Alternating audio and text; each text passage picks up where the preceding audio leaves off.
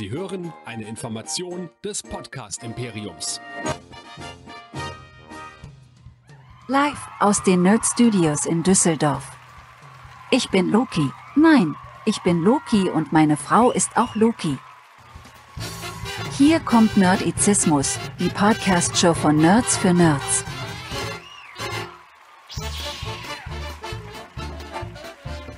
Heute mit Hero Nerds, dem Superhelden-Podcast. Und hier sind eure Gastgeber. Hier sind Chris, Lea und Michael. Donnerstagabend, 21 Uhr. Hier sind die Hero Nerds. Hier ist Nerdizismus mit etwas Verspätung mit dem Season-Finale Recap zu Loki. Mein Name ist Chris und mit mir dabei in der Mitte Nerdizistin Lea. Hallo. Hi. Und von euch aus gesehen ganz links und noch etwas verrutscht. Ich werde ihn jetzt mal ein bisschen in die Mitte ziehen, damit äh, er auch besser reinpasst. Mit neuem, ja, jetzt hast du ein bisschen, jetzt hast du so eine polierte, ja, so eine polierte Glatze, ne? Finde ich ja sehr gut. Der Michael, ich grüße dich. Hallo. Hallo. Ja, äh, ganz, ganz glatt ist sie nicht mehr. So drei Tage nach, danach wächst doch schon ein bisschen was nach. Aber ja, ich äh, weiß nicht. Ich mache einen auf Bruce Willis, ich mache einen auf äh, erschrocken, mir sind die Haare ausgefallen. Ich weiß es nicht. Ich wollte mal, mal testen, deshalb ähm, Corona. Corona. Corona, Corona. Ich habe die äh, Corona-Säge angesetzt. Ja, Wir- es gibt nur zwei Frisuren äh, während Corona. Einmal so lang wachsen und einmal ganz abschneiden. Ich, ich habe es vor, vor drei Monaten habe ich es auf vier Millimeter runtergemacht. Und jetzt am Anfang dieser Woche war ich alleine zu Hause. oh, gefährlich. Kind und, äh, Kinder und Frau waren bei der Familie, bei den äh, Großeltern äh, drei Tage alleine und äh, dann habe ich es einfach mal gewagt. Es, es, ich glaube, ich habe einen Kopf dafür, aber es wird kein Dauerding bei mir. Echt nicht? Oh, ich finde, steht ja eigentlich ganz gut, ja. Finde ich auch.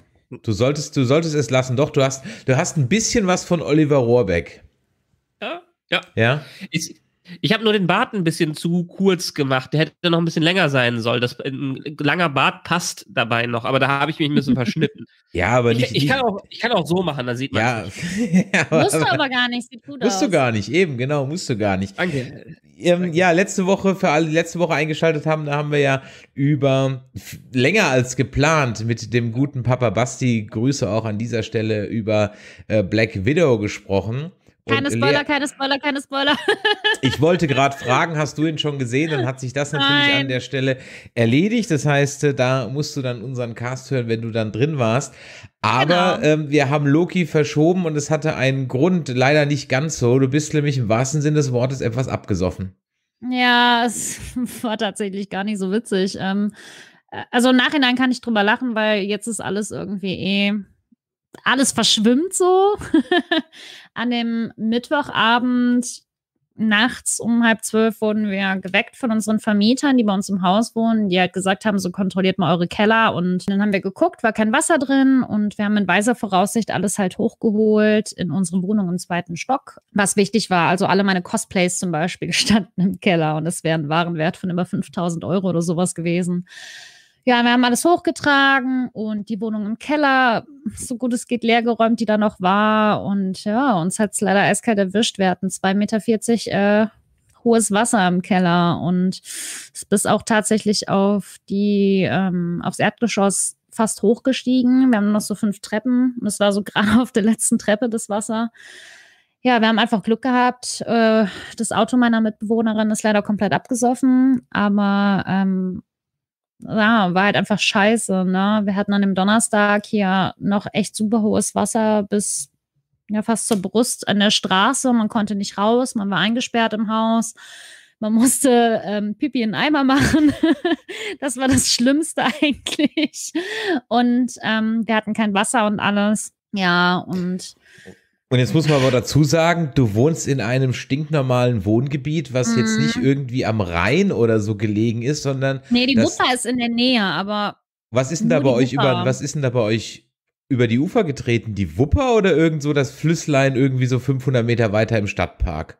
Mm, Tatsächlich wissen wir gar nicht, woher es jetzt konkret kam, Okay. aber es wird gemunkelt, dass es daran wohl lag, dass in Wuppertal kontrolliert Wasser abgelaufen lassen wurde und man der Stadt Leverkusen aber nicht Bescheid gesagt hatte. Das heißt, man konnte uns nicht informieren und dann kam das alles zu Fuck. uns. Ja, also man hätte es theoretisch verhindern können, wenn die Menschen besser kommuniziert hätten. Ja, oder wenn man einen Cell-Broadcast hätte und den Leuten einfach eine SMS schicken würde, ja.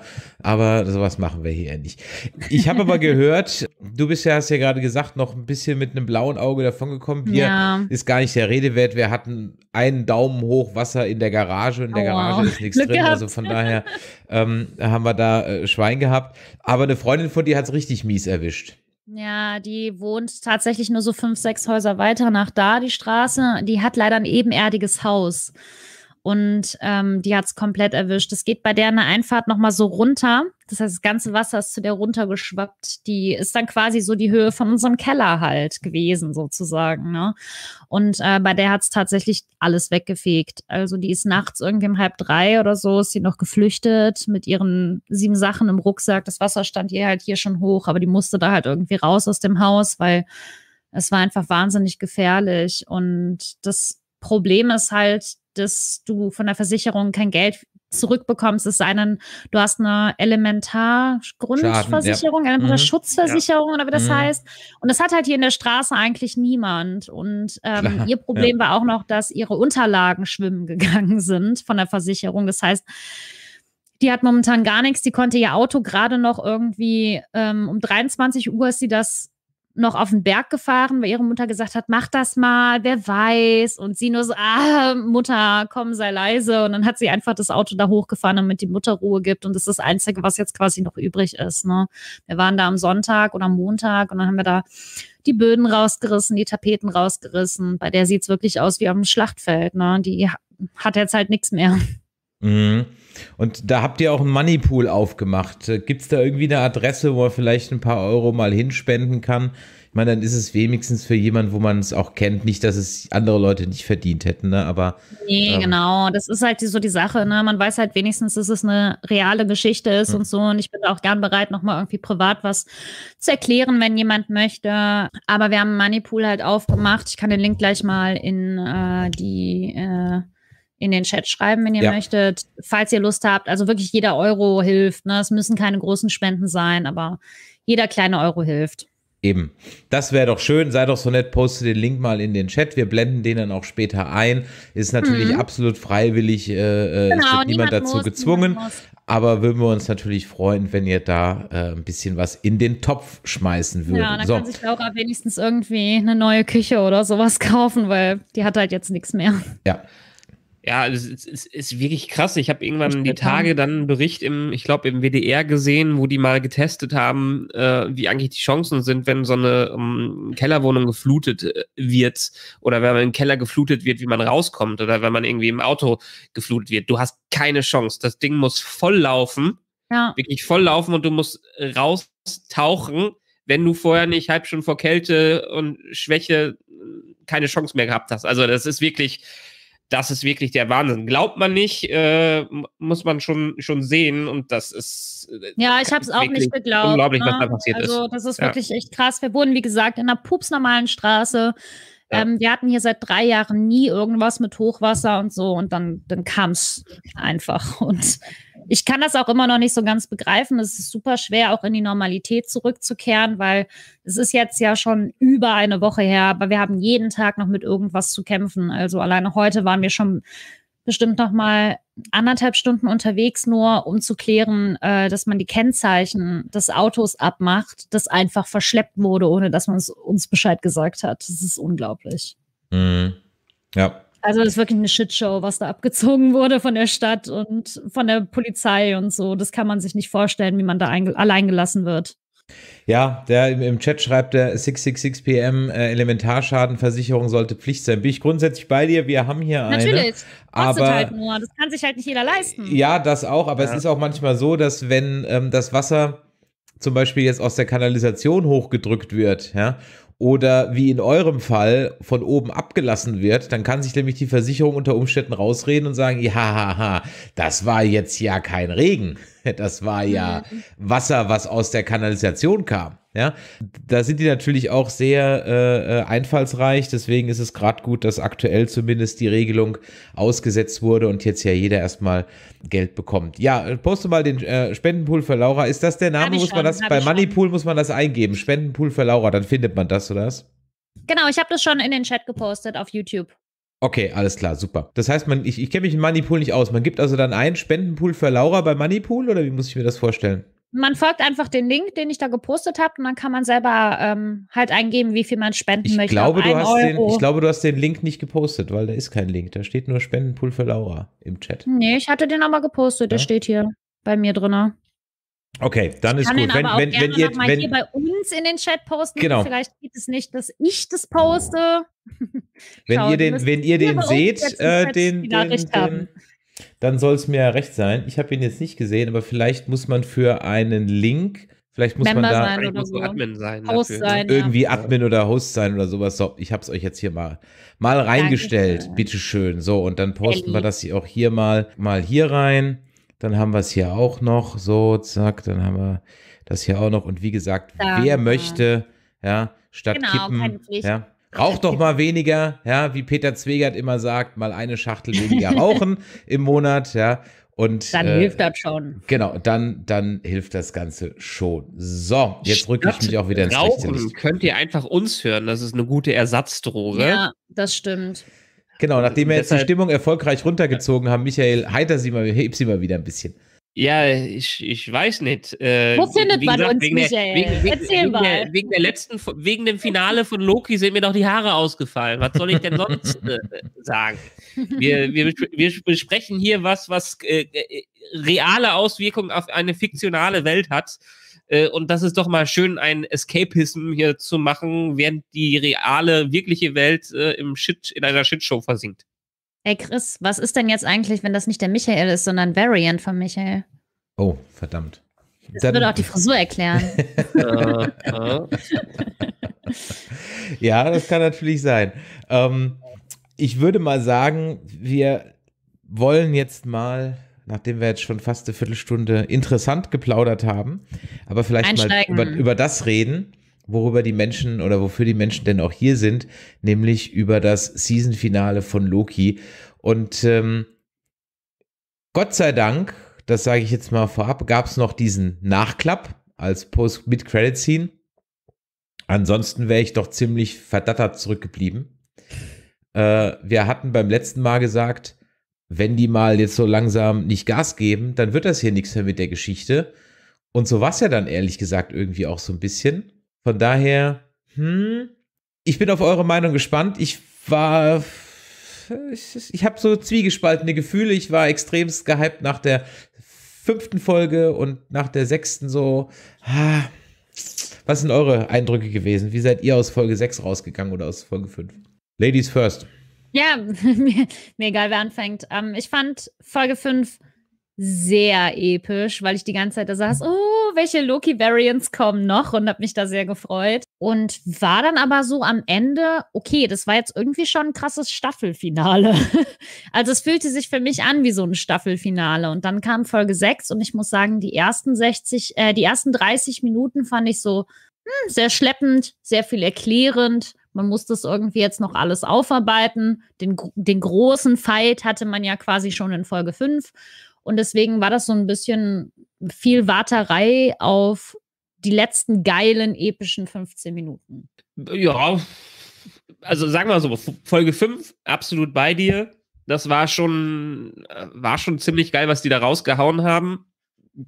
Ich meine, du hast deinen Präsident Loki bekommen am Ende. Ja! Also äh, muss ich aber jetzt kurz mal einlenken, wo wir eben schon bei President Loki sind. Ich fand es sehr schade, dass er nur so einen kurzen Auftritt hatte. Ja, äh, hätte man sicherlich äh, noch mehr draus machen können, aber man hat sich für eine Episode aufgespart. Wer weiß, vielleicht war nur das Budget für das Special, äh, für die Special Effects da. Und wir bekommen ja eine zweite Staffel. Das können wir ja schon vorwegnehmen. Äh, ich fand die Folge 5 wirklich im, im, im Stil von typischen Game of Thrones neunte Episode, wunderbar. Da ging die Action ab. Und dann die letzte Episode fand ich auch gut, weil ich habe ja immer schon mal wieder gesagt, dass ich so ein bisschen ein Sucker für Exposition bin. Es, ich, ich mag es einfach, wenn es ordentlich erklärt wird und wenn mir eine Wikipedia vorgelesen wird, was er ja quasi gemacht hat. Und wenn dann ja. so ein Jonathan Majors daherkommt, der das wirklich wahnsinnig gemacht hat, dann war für mich eigentlich keine ruhige Minute da, weil das Kammerspiel, was die uns da geboten haben, vor allen Dingen, was er geboten hat als einer, der jetzt eine wahrscheinlich sehr, sehr bedeutende, wichtige und einflussreiche Person im, ähm, im MCU gesamt wird, äh, fand ich das schon ein ziemliche Kracher. Also mir hat die Folge 6 eigentlich schon, ist das jetzt Folge 6? Folge 6 eigentlich schon fast besser gefallen als Ach, cool. das actionorientierte Fünferfinale. Okay.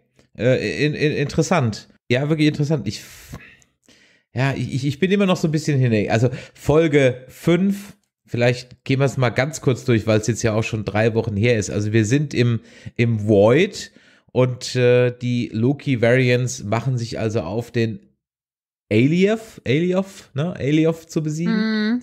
Ähm, schaffen das ja auch und stehen dann sozusagen vor der vor, ja, vor, vor Schloss. Vor Neuschwanstein, ja. ähm, und vorher gibt es natürlich sozusagen äh, ein, ein Easter Egg Festival in diesem Void, was ja, äh, äh, das ist ja, es ist ja, es ist ja der Wahnsinn, ja. Also was, was da ja alles drin war, ähm, vom President Loki, den ihr gerade schon angesprochen habt, ja, über äh, Frog Tor ähm, bis hin zum äh, Hubschrauber von Froggy. Thanos, ja. ja. Übrigens, ähm, genau. äh, Proctor wurde von Chris Hemsworth, Hemsworth gesprochen. Die haben wirklich eine Sprachsequenz äh, von ihm wirklich neu aufgenommen. Das ist nichts Wiederverwendetes. Chris Hemsworth hat für Loki einmal kurz eingesprochen. Und das, das ist ja schon alleine super. schön. Wir, wir haben ihn nicht gesehen, was natürlich ein bisschen Overkill gewesen wäre und wahrscheinlich Ablenkung von ihm, aber zumindest hat er im Hintergrund eine kleine Präsenz gehabt, was natürlich in der Loki-Serie wunderbar passt. Und ja, vielleicht sollten wir eigentlich mal über den großen Reveal reden, der am Anfang der Episode 5 passiert ist. Die sind nicht getötet worden. Die sind nicht irgendwie extra weggebeamt worden von irgendwem anders. Nein, dieses Pruning, was die da gemacht haben, äh, das alle erwischt, das hat alle ans Ende der Zeit gepackt, wo dann dieses Monster alles zerfrisst. Also ganz auf die Theorie wäre ich nicht gekommen, aber ich meine, ich, ich glaube, da war es im, im Internet gab es schon ein paar Sachen, die darauf hingewiesen äh, haben und viele Leute, die da spekuliert haben. Aber ich fand es doch schön, dass es einerseits so überraschend war äh, und andererseits doch zum, zum Stil des Ganzen äh, ge gepasst hat. Also, dass, mm. dass da quasi ein Mesh-up von allen Dimensionen am Ende der Zeiten äh, auftaucht, fand ich schon eine geile Idee. Ja, also man hat es sich ja im Endeffekt dann wieder sehr einfach gemacht. Ne? Wir hatten dann ja auch überlegt, was für eine Alternativwelt könnte das sein und so. Und es ist einfach nur die Abfallhalde, die Müllhalde gewesen. Ja, aber, aber auch hier haben wir die letzten Male immer wieder gesagt, äh, nicht zu kompliziert denken. Genau, Einfach genau, weitergehen. Ja. Und das war Allerdings, tatsächlich ja auch Fakt fast überall. Fast. Fast. Ich meine, sie haben ja, äh, ohne dass wir jetzt schon direkt über die letzte Episode sprechen, äh, haben sie ja den Move gemacht, den sie bei WandaVision nicht gemacht nicht haben. Gemacht was sie ja auch ne? schon, den Morpheus-Move. Ich meine, das, das, das war ja eigentlich auch schon eine coole Idee. Erst äh, spekulieren alle bei WandaVision, es ist Mephisto, es ist Mephisto. Nein, ihr könnt ja. gerne spekulieren, es ist nicht Mephisto. Und jetzt überlegen ja alle, es ist Kang, es ist Kang, es ist Kang nein, kann nicht sein, die haben uns ja, schon genau. so verarscht und drehen das Ganze dann wieder um. Also das ist das, äh, das, das Schöne, cool, was sie gerade mit uns machen. Aber ja, äh, Ende der Zeit Müll halten äh, mit den verschiedenen Loki-Varianten. Für mich das Highlight Alligator Loki. Äh, einfach großartig, was sie da mitgemacht haben. Äh, ja, Folge 5 hatte so viele schöne Easter Eggs. Es hat so Spaß gemacht. Ja. Wie steht ihr denn zu dem Ganzen? Das habe ich ich, hab, ich sehe das nicht so, vielleicht seht ihr das ja so oder vielleicht sieht das ja jemand im Chat so. Oder vielleicht sieht es jemand unserer Hörer so, die uns das gerne natürlich schreiben dürfen an info.nerdizismus.de oder auf nerdizismus.de slash Discord. Ich habe mehr als einen Artikel gelesen, wo man nicht sonderlich glücklich darüber war, dass jetzt schon zum dritten, dritten Mal auf jeden Fall, eigentlich die Classic-Comic-Versionen der Helden, die wir sehen, verhohnepiepelt werden. So die Aussage. Also bei WandaVision, dass halt die Originalkostüme einfach nur lächerliche Halloween-Kostüme sind. Hier mit Classic Mhm. Loki, der halt auch eher aussieht wie halt vom Walmart gekauft, ja, und so weiter, sodass also der Tenor da ist, das haben diese alten Charakter, auf denen diese neuen Erfolgsgeschichten beruhen, nicht verdient, dass man sich über, über ihre alten, für Comics gezeichnete Kostüme, die natürlich im Film dann so nicht funktionieren, lustig macht. Ich sehe das nicht so, aber ich fand es ein Aspekt, dass das anscheinend bei manchen Leuten so ein Ding ist irgendwie. Ich finde halt nicht, dass man sich darüber in dem Sinne lustig macht. Die Sache ist halt die, dass die Kostüme, die damals gezeichnet wurden, tatsächlich ja einfach Strumpfhosen und Unterhosen waren. Und das sah halt ein bisschen bescheuert aus. Da, das war halt einfach die Mode der Superhelden. Und ich meine, gucken wir uns mal Superman an. Das Kostüm ist immer noch total Banane. Mit der Der hat Unterhose. ja immer noch die Unterwäsche an am Ende. Halt, natürlich, das sieht halt irgendwie ein bisschen seltsam aus, ja, weil das halt einfach nicht mit dem Zeitgeist ähm, heutzutage entspricht. Aber ich persönlich finde es total schön, wenn sich die Serien, moderne Serien an alte Kostüme so ein bisschen da anknüpfen und versuchen, das aufzugreifen. Ich habe mich total gefreut, als bei WandaVision Scarlet Witch ihr altes Kostüm anhat. Und zwar nicht als, ähm, als lustig machen, sondern es war eher so eine schöne Hommage, fand ich. Ja, bin ich genau bei dir. Es war eine äh, charmante Hommage, was sie damit gemacht haben.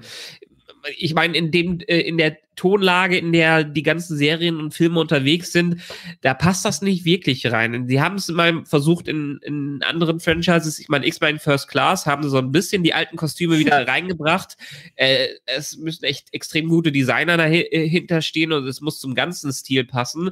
Und ich Ja. finde, es ist äh, eine äh, Wertschätzung, dass Genau, man so. auf diese, diese Art und Weise wieder mit reinbringt. Ich meine, das sind die Silver Age Comics. Ich glaube, Silver Age ist, äh, ist das Ganze. Und die waren halt bunt und quietschig und Unterwäsche und alles mögliche andere. Äh, und das sieht dann einfach so aus. Und ich gl- könnte, wenn ich jetzt ein Hardcore-Fan aus der Zeit wäre, fände ich es, glaube ich, einfach nur geil, das auf dem Screen zu sehen. Ja, ich finde das halt tatsächlich immer sehr witzig, ähm, weil gerade so, wenn Männer in Unterhosen sind, beschwert sich eigentlich erstmal äh, keiner drüber. Ne? Erstmal ist es so, hä, seltsam. Und was ich aber viel interessanter finde, wenn die Frauen in solchen knappen, engen Kostümen sind, dann immer alle so, ja, geil, super. Und dann gucken sie aber nochmal auf den Männern, ja, das ist dann aber lächerlich. Das finde ich dann nicht in Ordnung. Also, ich finde es spannend. Also, das kann man natürlich auch auf so eine Art äh, nochmal. Ich würde gerne an, Erkunden. an der Stelle kurz mal etwas einwerfen. Vielleicht ähm, können wir das für in den für in 14 Tagen oder in drei Wochen machen. Wir haben ja dann erstmal mit den Hero Nerds nichts zu tun, wobei Suicide Squad steht demnächst an. Aber What if kommt auch. What, What if, if kommt da auch dauert, dauert noch ein bisschen. Aber, ähm, Michael, Und? bevor du wieder den, den Finger hebst, lass mich doch erstmal meinen Satz zu Ende sagen. Du weißt doch überhaupt nicht, worauf ich hinaus will, ja? Also runter mit dem Finger jetzt hier, ja? So, ja? Ähm, ich habe nämlich äh, letztens zwei Filme mal wieder gesehen und äh, ich dachte mir, vielleicht guckt ihr euch die auch mal an und lasst uns mal drüber reden. Nämlich Tim Burtons Batman Ja, und geil. Richard und Richard Donalds Superman. Mm, Guckt Gerne. euch doch die demnächst mal an und dann lasst uns mal drüber reden, ob die, wenn wir unser kritisches Auge, das wir ja immer an andere Filme anlegen, heute noch mal gucken, ob wir die auch noch gut bewerten würden oder ob die heute nicht mehr gut ja, da wegkommen. sagt man dann halt direkt so Nostalgie, aber das ist ein anderes Thema. Ja, eben. Lasst uns mal schauen, ob wir da im Grunde genommen was machen. Das nur so als kleinen Einschub ins DC-Universum, aber jetzt wieder zurück zum äh, MCU und seinen Easter Eggs über in diesem Void, wo wir immer noch drüber reden müssen. Wir haben so viel drin. Wir haben über, über irgendwo liegt dann Mjolnir rum. Es werden auch ähm, re reale Dinge dann reingepackt, indem dann dieses Kriegsschiff kommt, diese USS Eldridge, ähm, die äh, ein, auch, wo es auch im Grunde genommen ein, ein Zitat ist vom, vom Philadelphia-Experiment, ein äh, Film von, von äh, 83 ähm, äh, mit Kirk Douglas, glaube ich, kann man gucken, muss man aber nicht. Dann sind andere Querverweise auf andere Filme drauf. Man sieht ein, ähm, ein äh, hier Ronans Schiff aus Guardians of the Galaxy äh, hat man hat man gesehen. Dann liegt äh, ein riesig großer, ist glaube ich nicht Ant-Man. Ähm, Yellow, Yellow Cap. Yellow genau. Jacket. Ja, genau. Sag Äh? Yellow li- Jack, ja. Liegt Yellow. darum, ja, äh, besagter Präsident Loki kriegt in Luke-Manier die Hand abgehackt, ja. Äh, Hammer. Kid Loki trinkt Ecto 1 Plasma ja, und, und, und solche Sachen. Also es ist wirklich ein, äh, es, ist, es ist unglaublich. Ich frage mich immer, wie man da so in diesem Writers Room sitzt und, und keine Ahnung, darf jeder, ausdenkt, genau, ja, darf ja. da jeder mal Ideen reinschmeißen oder wie, wie, wie Ich denke ihr, halt dass schon, das, dass das irgendwie so funktioniert. Woanders, das kann es ja gar nicht sein. Das sind alles Leute, die sich halt mit Marvel gut auskennen und die dann die Idee haben, so, guck mal, der Szene können wir das machen. Ja, Ja. ja, das ist, das ist, das ist auch so. Die, das Art Department, also teilweise ist wirklich das Art Department, was es einfach Sachen in den Hintergrund packt und Spaß daran hat, das in den Hintergrund zu packen. Ich kann mir vorstellen, dass das noch durch die große Kontrolle der Ja, Marvel das muss Overlords natürlich nochmal durchgehen, natürlich. Ja. Aber ansonsten sind die ja froh, wenn die so passionierte Macher dahinter haben und das alles vollpacken und damit Leute wie wir das wieder komplett auseinandernehmen können. Ja. Darf ich, darf ich mein Lieblings-Easter Egg sagen? aber sicher doch. Weil das kam noch nicht. Und zwar, wenn man ähm, beim Mobius in diese, der hatte dieses Pizza-Auto. Und da hat der vorne auf dem, äh, auf dem Board bei seinem Lenkrad so eine Hula-Figur. Armaturenbrett Diese- sagt man bei uns. Ja, Armaturenbrett. Und die kam in Agents of Shield sogar vor und ist natürlich mit dem Tahiti-Programm von Coulson verbunden, wenn man sich ein bisschen mit Shield auskennt und so. Und vor allem bei WandaVision war die auch bei äh, Darcy im Auto, als sie diesen Wagen gefahren ist mit Vision. Und das finde ich richtig cool. Das ist mein Lieblings-Easter Egg, weil das ist so awesome. Da musste ich an Pizza, äh, an äh, Pixar denken bei dem Pizzatruck. Ich weiß nicht, ob das damit auch gemeint war, aber zumindest immer so, wenn ich so einen Pizzatruck sehe, dann muss ich an Toy Story 1 denken. Ja. es war also Folge 5 hatte irgendwie an jeder Ecke was. Ich denke mal, das ist auch so eine Episode, die kannst du immer wieder angucken. Du findest noch was Neues. Ja. Ja. Und dabei hatte sie noch gar nicht mal so viel Story drin. Ich wollte gerade sagen, die Story ist eher überschaubar, ja. Die Story Ja. ist eher Story beim überschaubar. Endeffekt, Loki kommt zu seinen Variants. Die Variants haben untereinander Krieg und dann ist der große Endboss da und die müssen gegen den Endboss kämpfen. Was ja auch Genau. zeigt, äh, wieder, wie, wie sehr der Loki in dieser Serie gewachsen ist an den Dingen, die er Mhm. erlebt hat und, äh, Total. Dingen, und dass er sich ändern möchte. Also es ist, es ist schon nicht, äh, nicht ohne Grund, dass wir den Loki haben, der jetzt diese g- großen Einfluss auf das Ganze hatte, äh, weil er wahrscheinlich noch eine größere, größere Wanderung, Wandlung in dieser kurzen Zeit durchlebt hat, als der Original-Loki, äh, den wir kannten. Ja, ich finde vor allem ähm, merkt man das sehr in der sechsten Episode, als Loki halt das Ultimatum gestellt bekommt. Weil ich denke, der, der Loki, den wir kennen aus den Filmen und so, der hätte sofort Ja gesagt. sofort, ohne nachzudenken. Mhm. Genau, weil bei, bei dem war es ja immer wirklich immer diese kleinen Schritte. Wir haben eigentlich immer nur äh, die, die Twists bei ihm bekommen und am Ende war es immer nur, ach ja, ich habe mich ja doch für euch eingesetzt. Aber dieser Genau. Loki ist jetzt auch mal offen. Das ist ein anderer Loki. Genau. Aber ein cooler Loki. Also ich musste mich damit am Anfang wirklich, als ich die Serie geguckt habe, so ein bisschen anfreunden, weil ich dachte, hm, das ist jetzt aber auch nicht der echte Loki und so. Aber das ist ein Loki, der an halt irgendwie mehr ans Herz wächst, ne? Weil der so eine gute Seite hat. ja. Ich hätte ja gerne ein bisschen mehr von Classic Loki gesehen, ehrlich gesagt. Natürlich hätten wir alle, Richard E. Grant war awesome. Und äh, der mal gerade mal so eine ganzes äh, Asgard-Illusion aus dem Boden Das war krank. was auf so vielen Dimensionen gut war. Es war tricktechnisch gut. Er sah, um doch mal zum Kostüm zurückzukommen, auch gar nicht lächerlich da drin aus, obwohl er da das ge gemacht hat, ja. Ähm, und äh, musiktechnisch äh, hat es natürlich dann durchgewagnert von vorne bis hinten. äh, Wie die ganze Folge durchgewagnert hat. Das war so, wirklich, musste man noch mal in die Credits gucken, ähm, äh, obwohl das ist, vielleicht läuft inzwischen unter, wahrscheinlich unter Creative äh, License, das brauchen wir wahrscheinlich nicht. Genau, brauchen wir, ich weiß nicht, so, so ein altes Wagner-Stück kann, glaube ich, jeder aufführen. Du darfst nur die Aufnahme von irgendjemand nicht verwenden, aber Genau. aufführen Genau. kannst du es einfach und kann dir keiner was wollen. Ja, also das, das war, fand ich natürlich dann sehr schön und deswegen fand ich das auch dann im Grunde genommen meiner Meinung nach Absicht, dass das Schloss einfach aussieht wie Neuschwanstein. Also das, das, das muss Total. sein. Ja, das, das muss sein, dass das wirklich aussieht wie im bayerischen Wald, ja. Und da ich mir das, Das war- okay. war super ja. süß, als sie da, da standen. Vor allem fand ich das echt cool, dass sie das gezeigt haben, weil man dann eine Woche Zeit hatte zu spekulieren, okay, wer wohnt denn da jetzt wirklich? Ne? Und dann hat es ja echt angefangen von, oh, welche Farben sieht man? Wem gehören die Farben im Marvel-Universum und all so ein äh, Quatsch. Ne? Also ich habe da auch die wildesten Theorien gelesen, aber es war eigentlich für mich in der Folge klar, dass es nur Kang sein kann oder Loki. Also ich habe bis zum Ende, bis wir ihn gezeigt bekommen haben, dran geglaubt, dass es eine Variante von Loki sein muss. Ja, hab hätte ich- geglaubt, also hätte ich machen auch- gedacht oder halt kann. Ja. Weil was anderes geht nicht.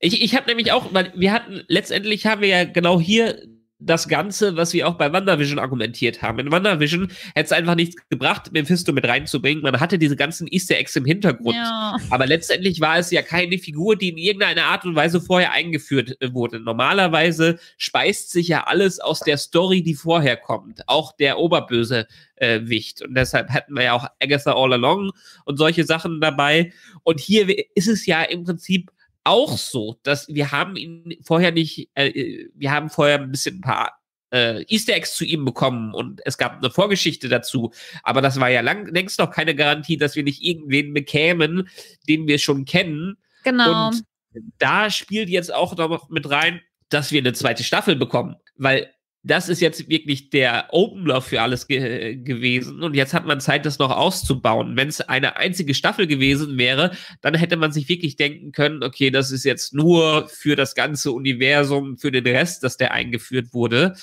Und so war es übrigens auch fast schon geplant von der Showrunnerin, die das, äh, die das gemacht hat, die übrigens bei Staffel 2 nicht zurückkommen wird, hat sie jetzt schon gesagt.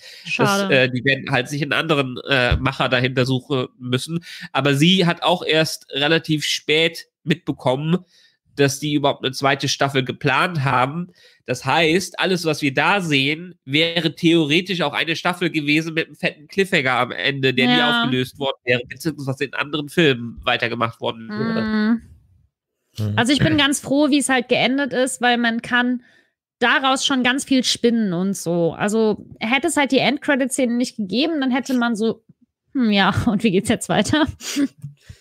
Greift man noch nicht so weit vor. Lass uns noch mal ein paar Schritte zurückgehen, denn ich zum Beispiel war bis zum Schluss davon überzeugt, dass es Loki ist. Ja. Ja. Und Das zwar war halt unser Tom. Hiddleston Loki. Ja, bis, Genau. also bis, ich sag mal, bis äh, im Grunde genommen er dann äh, wieder äh, in, in die andere Dimension kommt. Da können wir in eine andere Zeitlinie, da können wir gleich noch drüber reden.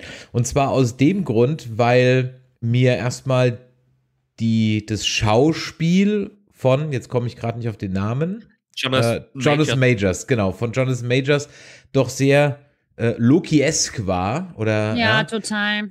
Das war das eine. Das zweite ist, dass ich immer noch gedacht habe, naja, komm, ähnlich wie bei Mephisto, so, das sind die Dinger, die hingeschmissen werden, aber so fünf Minuten vor Schluss noch einen aus dem Hut zaubern, hm, ist auch eher so, so komisch. Und was ich aber eigentlich, das hatte ich im letzten Cast gar nicht gesagt, ähm, was ich aber zwischendrin nochmal äh, gesehen habe, ist, dass es eine Szene gibt aus einem Trailer für die erste Staffel, wo man Loki in einem etwas fürstlicheren Gewand und in einem Thronsaal sieht, die bisher gar nicht verwendet wurde, Stimmt, die diese Szene. Thronsaalszene wurde gar nicht gezeigt, So. ne? Und deswegen dachte ich eigentlich die ganze Zeit, ah ja, die Szene muss Das ja muss noch noch kommen. Genau. Und jetzt kommt gleich irgendein Snap und dann verwandelt sich alles und schwupps, it was me all along, ja. Und, und das kam dann irgendwie nicht. Und dann hörte diese Folge auf und ich dachte so, okay, das ist zwar jetzt irgendwie so ein M. Night Shyamalan-mäßiger Gag irgendwie, aber es lässt mich jetzt trotzdem unbefriedigt zurück und dann so, bam, Return for Season 2. Ich so, okay, können wir, können wir drüber reden. Aber ich war wirklich bis zum Ende überzeugt, da kommt jetzt noch mal, das ist zwar jetzt Mhm. Kang als Fanservice sozusagen, aber es ist nicht wirklich Aber er ist in Wirklichkeit Loki, ja. exakt, genau. Hätte auch Ja. auf jeden Fall Sinn ergeben. Ich bin da total deiner Meinung. Ich finde ähm, gerade eben, was Michael auch gesagt hat, mit WandaVision im Rücken, dass wir die ganze Zeit wirklich mit diesem einen Bösewicht gerechnet haben. Und dann kam der nicht. Und wir haben uns in den Arsch gebissen und dachten uns so, hä, das ergibt jetzt doch irgendwie gar keinen Sinn. Aber okay, Agatha all along, wir, sind, wir finden es alle cool. Und jetzt hattest du klar so ein paar ähm, kleine Details, die auf Kang vielleicht verweisen können, aber es war sehr wischiwaschi alles. Und dann, wir wissen es ja im Endeffekt, kann man es nicht zu 100 Prozent sagen, ob es wirklich Kang ist. Es ist halt Also einfach eher- nur der Eroberer, ne? Genau. Er ist, äh, äh, er, die Figur, die wir auch kennengelernt haben, äh, heißt ja auch wahrscheinlich nicht Kang, sondern er heißt, heißt einfach He Who Must Remain. Genau. Äh, der, der am Ende äh, da sein muss. Und das wäre ja theoretisch, wenn wir über diese Comicfigur Kang the Conqueror reden, äh, wäre es ja auch nur ein Variant von ihm, der dazu wird, was wahrscheinlich genau. auch passieren wird. Äh, aber das war jetzt, okay, ich kann es aus Chris Sicht absolut verstehen. Wahrscheinlich, wenn ich nicht so tief drin gewesen wäre und wenn ich nicht irgendwelche Casting-News gelesen hätte, hätte ich am Ende damit auch weiterhin gerechnet, dass es dann doch vielleicht Loki war. Ähm, aber das Casting von Jonathan Majors als King the Conqueror in äh, Ant-Man, äh, in dem nächsten Ant-Man-Film, Ja. war schon länger klar. Und dadurch, dass die jetzt diesen Move gemacht haben, sehen wir einfach, was der nächste Major Bösewicht wird. Das wird ein Thanos-Level völlig darüber sein, was wir jetzt erleben, weil es dann nicht mehr diese eine Figur sein äh, wird, sondern weil wir im klassischen Multiversum-Stil wahrscheinlich sehr, sehr viele Varianten von ihm sehen und die Macher dahinter haben auch gesagt, die hätten den jetzt nicht gecastet, wenn sie noch einiges, äh, nicht einiges mit ihm vor Ja. hätten. Und Das das, haben sie halt. definitiv. Und das ist ja eigentlich das Spannende, dass man ähm, diesen Bösewicht in einer Serie einführt und nicht in einem Major Movie und ja sein Schicksal halt auch schon besiegelt eigentlich. Ne? Wir lernen den Episode 6 kennen und ja, Sylvie kümmert sich dann um ihn. Ja, äh, aber auch hier, er sagt ja selber, äh, dass es ist wahrscheinlich nicht das Letzte, was sie auch von ihm gesehen haben. Nö, natürlich nicht, aber äh, diese Variante ist halt dann nicht mehr da. Nee, das, das glaube ich nämlich, nämlich auch nicht, dass diese Variante mag vielleicht jetzt getötet worden sein, aber ich glaube, diese Variante kann durchaus zurückkommen, gerade dadurch, dass wir jetzt mit ganz viel Timey-Wimey-Stuff äh, darüber reden und äh, wahrscheinlich auch alles wieder rebootet wird, was diesen äh, Time War angeht. Dadurch, Mhm. dass jetzt seine Variante ja rausgenommen wurde, der alles kontrolliert hat und der dafür gesorgt hat, dass alle anderen Varianten von Kang von ihm nicht auftauchen. Sie ist ja weg, was dazu führt, dass die wieder auftauchen und dass wahrscheinlich seine Variante dann noch in irgendeiner Zeit äh, wieder auftauchen kann. In, in irgendeiner Art und Weise. Also es ist halt unglaublich kompliziert, kompliziert, was jetzt auf uns wartet. Aber das Schöne Secret Wars. ja, das Schöne ist an diesen Varianten, äh, das muss noch nicht mal relevant sein für irgendwelche Leute, die die Filme gucken. Weil es kann theoretisch ein ganz anderer Charakter sein, der sich auch komplett anders verhält und dessen Vorgeschichte auch in zum Beispiel Ant-Man, dem nächsten Ant-Man, erklärt werden Erklärt kann. wird. Das denke ich Ja. auch, dass so die Vorgeschichte dann vielleicht Also, drin kommt. Die, die können alleine für sich stehen, dadurch, dass es einfach eine alternative Dimension, eine alternative Zeit, äh, Mhm. Zeitlinie ist. Und äh, erst am Ende führt das alles zusammen, wenn die Leute merken, die vielleicht auch in die Filme gehen, dass der Typ dann doch irgendwie in drei, vier Filmen aufgetaucht ist Ja. Und immer irgendjemand anderen spiel, spielt und sich dann vielleicht Gedanken machen, ah, okay. Das, Das ergibt Sinn. genau- Ja. Da, dazu passt auch, was halt der, spannend. dazu passt auch, was der Limmick im Chat schreibt, nämlich äh, der nette Kang ist tot, alles was folgt ist viel schlimmer.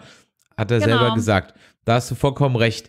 Und von daher bin ich auch bei euch, dass, weil ich glaube auch, man kann nicht den nächsten Major Bösewicht, der jetzt für die nächsten 5, 6, 7 Filme, keine Ahnung wie lange, so den Thanos-Ersatz geben soll. Ich warte ja immer noch auf Galactus, aber okay. Das, Warten wir äh, alle, warten ja wir alle. dass, dass ich den in einer Serie einführe, wovon ich einfach, immer noch nicht bei allen großen Streamingszahlen, aber es ist immer noch ein großer Unterschied zwischen Kino-Audience und Streaming-Audience, ja. Und äh, ich, die große Masse hat es erstmal noch im Kino gesehen und danach auf einem DVD-Release und äh, äh, Streaming hat noch nicht, einfach noch nicht jeder, vor allem, äh, ich sag mal, in, in, in Ländern, wo es jetzt finanziell auch nicht ganz so dicke ist wie bei uns. Und von daher kann man bei der breiten Masse, wenn man die in ein Kino reinsetzt, wo dann einer vorkommt, den man dann kennen muss, ja. Ähm, nee, das wird nochmal alles neu irgendwie aufgefrischt. Also bin ich ganz bei Michael. Ich denke halt auch, dass wenn wir ihn jetzt das erste Mal dann sehen, wir wissen ja nicht, ob ähm, Ant-Man 3 tatsächlich der erste Film mit ihm sein wird. Es kann ja auch durchaus sein, dass er ähm, bei Spidey auftaucht, dass er bei Doctor Strange auftaucht, ne? dass das alles halt geheim ist und man das noch nicht revealed hat. Also ähm, ich finde es einfach nur bemerkenswert, dass sich Marvel wirklich traut, in einer Serie das Multiversum jetzt wirklich zu eröffnen. Klar, man hat es so bei WandaVision hat man es angeschubst, aber jetzt ist das Kind echt in den Brunnen gefallen und Multiversen sind offen. Das finde ich sehr mutig. Ja, äh, wir müssen ja auch sehen, also ich habe den Anfang vom Making of gesehen, schon das rausgekommen ist. Ich habe es mir mhm. noch nicht, nicht ganz angesehen. Äh, aber die Bedeutung nachdem Marvel ja die TV-Produktion ja selber übernommen äh, äh, hat äh, und nicht mehr diese Nebenabteilung hatte, äh, ist jetzt einfach auch eine ganz andere. Wir werden, was ich eben noch angedeutet habe, wir werden ja nicht nur das What If dieses Jahr noch sehen, wir werden mindestens zwei andere Serien sehen. Hawkeye und Miss ja. Marvel werden dieses Jahr auch noch rauskommen, wurde bestätigt. Das, yes. Also die, die setzen jetzt gerade alle Pferde da drauf, dass das der große Nebenstrang zu den Filmen ist. Wir haben diese Millionen Blockbuster natürlich weiterhin, wo äh, zehnmal mehr Menschen theoretisch reingehen. Aber ich glaube, das hat Streaming auch im letzten Jahr gezeigt und in den letzten Jahren. Es gibt auch durchaus ganz, ganz viele Menschen, die Bock haben, sich ein bisschen tiefer da reinzuhauen und die Serien einfach zu sehen. Und das bietet mhm. dieses Format. Nicht nur, ich würde mir ja fast schon wünschen, dass wir die großen Filme, die großen Stars auch mal in einer, äh, einer Serie sehen und nicht nur die Nebencharaktere, weil uns das ja eine ganz, ganz andere Tiefe gibt. Und vom Produktionsvolumen, was sie da gemacht haben, ich glaube, die haben 299 Tage daran gedreht äh, von morgens bis abends, das ist, äh, das ist ja schon längst auf dem Niveau von so einem Feature-Film.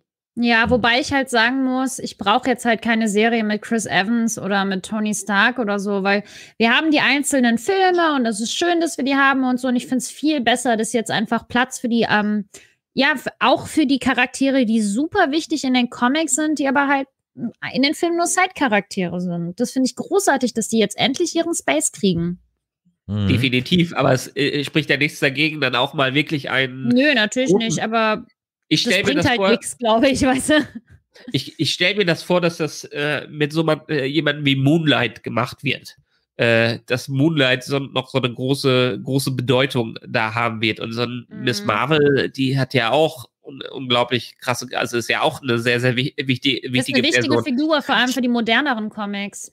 Genau. Und ich glaube, die Richtung wird, wird auch gegangen, dass die neueren eher die Einführung mittlerweile über die Serien bekommen und ja. so die klassischen, die riesigen, die jeder kennt, äh, weiterhin die äh, Filme bekommen werden. Aber das wahrscheinlich wichtiger äh, sogar für die Entwicklung des Ganzen eher die Nebenstränge sein werden. Und wie jedes Mal in diesen Diskussionen hole ich euch mal wieder auf den Boden der Handlungstatsachen zurück, bevor wir in irgendwelche anderen Zeitlinien abschweifen, denen dann wirklich kein Mensch mehr folgen kann.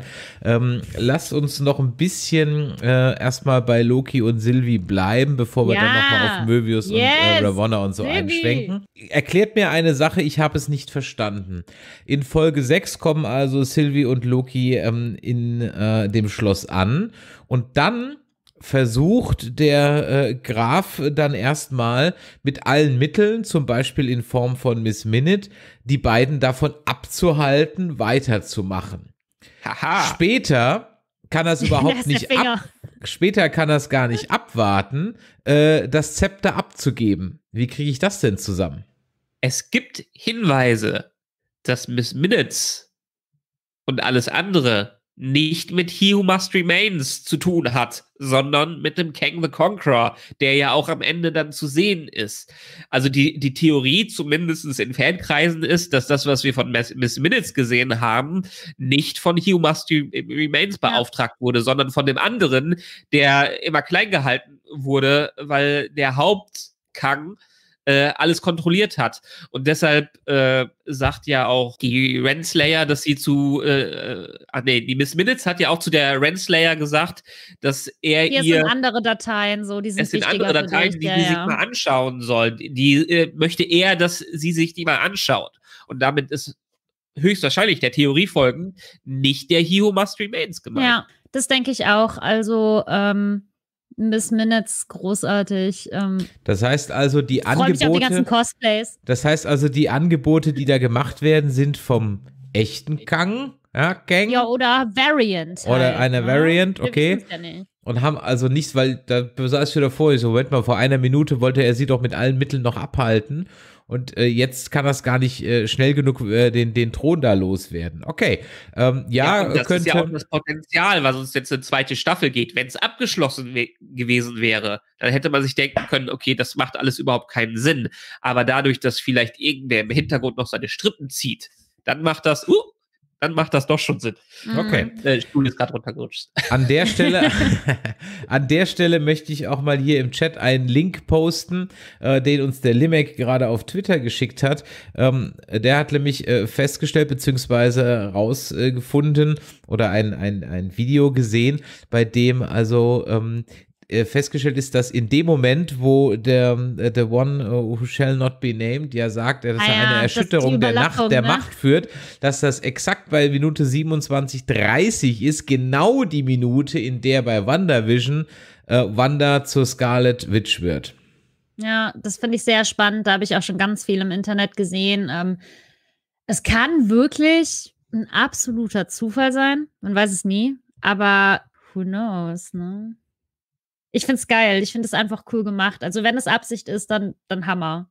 Ich glaube nicht, dass das, ich glaube nicht, dass das Zufall ist. Ob es nur ein Easter Egg für die ganz Bekloppten sind, das lasse ich mal dahingestellt. Aber ähm, ich glaube schon, dass das exakt getimed war. Ich wäre ja so gerne mal beim Schnitt und bei der Editierung dieser ganzen ja, Sachen ja. dabei. Das wäre das so geil. Wenn die alle da sitzen, nee, das muss an die Stelle, das muss an die Stelle. Wir brauchen 37,30 an der Minute und wir müssen das noch reinpacken. Das ist, äh, ich meine, ich hatte früher immer schon äh, Bock daran. Ich habe früher Anime-Musikvideos geschnitten und gerne mal Videoschnitt gemacht und da kann ich mir nur vorstellen, wie das ist, wenn man bei so einem Blockbuster dabei ist und wirklich ist alles spannend. zusammenkommt. Weil der Schnitt, egal wie viel vorher gemacht wurde, es wurde Dreh gemacht, wurde Special Effects gemacht, es wurde irgendwelche Musik gemacht, aber wie es am Ende dann im Film aussieht, das macht ganz allein der Schnitt. Ja, das ist sehr spannend. Da kann ich euch nur empfehlen, auf YouTube mal ähm, High School Musical neu geschnitten oder so einzugeben. Da seht ihr das als Horrorfilm. ja, ich meine, Musik macht auch eine Menge aus. Es gibt ja eine Menge. Ja, klar, alles. Äh, äh, aber das Recuts. ist halt auch der Schnitt, ne? Der Schnitt genau. das halt rein. Der ja. kann ja auch einfach sagen, Nö, habe ich jetzt vergessen. Wenn, wenn du Shining mit einer lustigen Musik hinterlegst, dann ist das ein komplett anderer Film, ja. Also, Klar, natürlich ja. einfach. Ne? Ja. Aber ähm, ich finde es sehr cool, dass das halt dieser Zufall ist. Ich denke auch nicht, dass es ein Zufall ist, weil dafür ist Marvel halt einfach zu sehr zu detailliert. Ne? Ähm, spannend, finde ich cool. Mal gucken, was noch bei den anderen Serien vielleicht bei rumkommt. Warum hat denn keiner den Thron genommen? Ja, weil das halt. Ähm, also ich meine, Sylvie vielleicht, wir wissen es ja nicht, ne? Hm, das ist aber nicht das Ziel von beiden Lokis gewesen. Also wir haben ja den Loki jetzt kennengelernt, der ja auf einmal Liebe empfindet, Freundschaft, Familie, der sich an seine Mutter erinnert und ganz wehmütig wird und sogar seinen Vater. Und das hätte der Loki, den wir aus den MCU-Filmen kennen, der hätte dann gesagt, ja, hm, schade, aber dann hätte er gesagt, ne, sobald Thanos gesagt hätte, ich gebe dir den Thron über alles und ich trete zurück und du darfst auf dem Thron sitzen, hätte der Loki safe gesagt, ich gehe dahin. Und ähm, das finde ich halt sehr spannend, dass dieser Loki es halt einfach nicht tut, weil er jetzt eben auch diese ganzen Sachen erlebt hat. Ja, ich, ich würde sagen, dass der äh, der Film Loki das schon gewollt hätte, alles, aber er hat es halt nie so offen kommuniziert, wie jetzt der Loki hier gelernt hat, äh, aus sich rauszukommen. Ich meine, Mhm. die Hinweise darauf, dass äh, der ganz schöne äh, Gewissensbisse hatte und alles, das bekommt man ja in Nebenszenen von den Filmen schon mit. Es wird halt nur nie gezeigt. Seine Aktionen sind dann am Ende doch wieder was anderes, bis er Ja, die große genau. Wiedergutmachung im Finale hatte, äh, so ungefähr. Und Ja. das ist, das ist der, der wesentliche Unterschied. Während die anderen Lokis sich das vielleicht wünschen, handelt unser Loki in äh, der TV-Serie einfach so. Ja, und bei Sylvie ist halt die Sache, dass äh, Thron und so für die nie wichtig war. Für die war halt wichtig zu klären, dieses persönliche Dilemma. Warum wurde ich aus meiner Zeitlinie als Kind gerissen? Das war das Einzige, was sie wissen wollte. Mhm. Und ich also mein, Thron war für die nie ein Ding, weißt du? Ja, ja, ja. Ich meine, dass der The Last Being on Earth oder in Time oder the, the One Who Shall Not, The One Who Remains, genau, dass er natürlich der Böse ist, war ja klar in dem Moment, wo er in den Apfel beißt. Ähm, Ja. Ja. Der Apfel. Also, ja, an das, das, das, das, das, das Trope des Bösewichts, der in den Apfel beißt, ja. Ähm, ich weiß nicht, in Es wie ist ja vielen nicht unzähligen genau, Filmen also- das vorkommt, ja. Also äh, es ist ja nicht unbedingt immer der, ja, es ist der das Bösewicht-Klischee, in den Apfel zu beißen, aber das äh, mit dem in den Apfel beißen äh, bedeutet ja auch eher die Erleuchtung zu bekommen und die Wahrheit äh, zu erkennen. Äh, Ja. Ja, aber nicht im, Also nicht, nicht im Film. Also du wirst, äh, du musst, also Ja, ich ganz weiß. proof, proof Ja, me wrong. Zeig mir, zeig mir einen einzigen, zeig mir einen einzigen Ja. Helden, der ein Apfel ist. Es gibt keinen. Ja, Aber ich, ich weiß, find, es sind immer die Bösewichte, aber es macht ja, also hier macht es noch mehr Sinn. Es ist ja nicht, er ist, er will ja nicht böse sein. Genau, das wollte ich nämlich gerade sagen. Er ist halt eigentlich gar nicht der Bösewicht.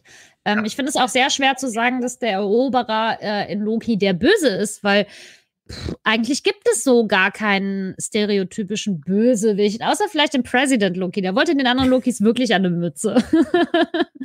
Aber er hat eigentlich nie was Böses gesagt. Er hat den, der hat Loki und Sylvie was Gutes angeboten, was Schönes für sie. Der hat gesagt, das ist die Zeitlinie, die ich bewache. Und wenn das halt kaputt geht, dann kommt erst das Böse eigentlich. Meine Theorie ist übrigens weiterhin, dass es nicht nur diese eine Zeitlinie gibt. Es dürfen andere Zeitlinien so lange existieren, äh, wie diese nicht zu einem äh, Kang führen. Das glaube ich. Und deshalb haben wir so die ganzen Varianten. Deshalb kann so ein Alligator-Loki und ein äh, Kid-Loki bestehen und eine Sylvie bestehen, weil das sind ja alles Zeitlinien, die müssen schon gewisse Änderungen durchle durchlebt haben. Aber die Mhm. wichtige Änderung daran ist, dass aus den Zeitlinien niemals einer entsteht, ein Kang, der ins Multiversum an, eingreift. Und deshalb ist diese, wahrscheinlich diese kleinen Dinge, äh, die sich da verändern, auch was allein das, das Loki den Tesseract stiert, äh, Ja. Das hätte wahrscheinlich den typischen Schmetterlingseffekt gehabt, äh, dass am Ende doch ein Kang in diesem Universum entsteht. Mhm. Ganz kurz, im äh, Chat wird nur darauf hingewiesen, ähm, dass Captain Kirk auch ein Apfel ist, als er nämlich den Kobayashi Maru-Test äh, besteht und in der Genesis-Höhle. Ja, das ist richtig. Äh, Dem halte ich aber entgegen, dass in dem Moment hat Kirk beschissen. Das heißt, er hat betrogen, er ist auch ein Böser in dem Moment, ja. Und zwar zweimal, sowohl beim Kobayashi Maru-Test, da hat er nämlich betrogen, und in der Genesis-Höhle hat er im Grunde genommen auch betrogen, indem er nämlich ähm, falsche Dinge über den Funk sagt und die Klingonen somit in Sicherheit wiegt. Und mir ist noch ein dritter eingefallen. Nämlich äh, Indy ist in Temple of Doom auch ex, ähm, ganz explizit ein Apfel. Äh, und zwar kurz bevor er eigentlich ähm, äh, Willie Scott mehr oder weniger vergewaltigt. Ja, ähm, äh, die gleiche, es gibt auch eine Szene von James Bond, Sean Connery, der ist auch ein Apfel und zwar auch mehr oder weniger kurz bevor er Pussy Galore de facto vergewaltigt. Ja, ähm, was einfach in den Filmen damals nicht gezeigt wurde, aber es ist einfach so. Ja, und von daher bleibe ich dabei. Ähm, es wird immer, der Böse ist immer ein Apfel. Ja, es, es hat wrong. halt, es hat ein, einerseits mit, mit, mit dem Sündenfall zu tun, aber andererseits auch mit der Leuchtung. Und das äh, ist im Bibel, biblischen Sinne natürlich immer was Böses gewesen.